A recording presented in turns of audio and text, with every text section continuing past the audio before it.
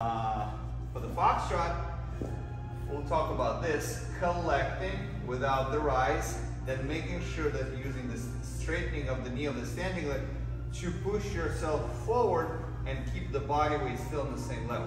Then you can do the same retroactively. You can pull, open, shift.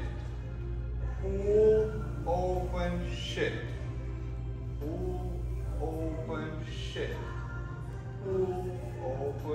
Push here. So see, I make sure that my body on the top is very, very, very undisturbed, but my leg and my body weight.